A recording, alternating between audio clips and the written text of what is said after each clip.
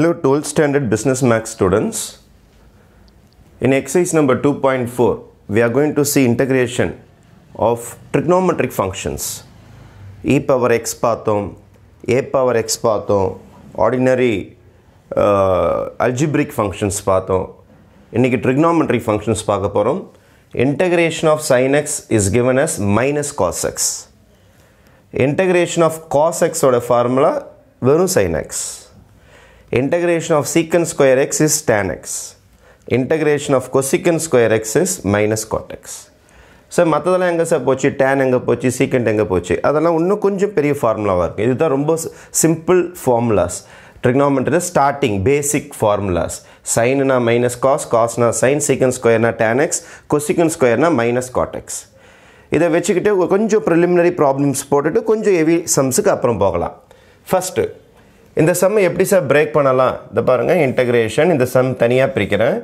Two cos x d x integration minus வெளியில் போட்டேன். Three sine x d x plus four secant square x d x minus five cosecant square x d x இந்த மாதிரி தனித்தனி தனியாக பிரிச்சாச்சு.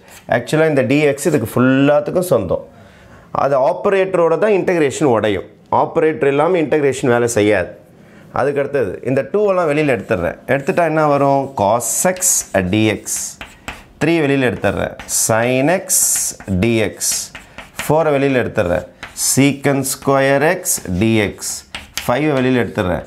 Cosecant square x d x two cos எக்ஸுக்கு readymade formula இருக்குது பாருங்கள் cos எக்ஸ்னு என்னது? Sine x readymade formula sine x is the answer minus three சைனுக்கு என்ன ஃபார்முலா மைனஸ் காஸ் இந்த வேறு ஒரு மைனஸ் இருக்குது அப்புறம் பார்த்துக்கலாம். மைனஸ் காஸ் எக்ஸ் இதுதான் சைன் எக்ஸோடைய formula four secant ஸ்கொயர்னா tan x tan x dx நடுவில் மைனஸ் ஃபைவ் அப்படியே இருக்கட்டும்.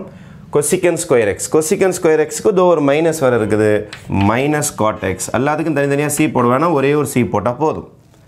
த ஃபோ your answer will be two sine x minus minus plus ஆகிடும் 3 cos x plus 4 sorry plus 4 tan x plus 4 tan x minus into minus plus 5 cot x plus c is your final answer அப்போ இந்த நாலு formula தெரிஞ்சதுன்னா ஓரளவுக்கு preliminary base sums எல்லாம் நம்ம போட முடியும் ட்ரிக்னாமெண்ட்ரியில் ஓகேவா தேங்க்யூ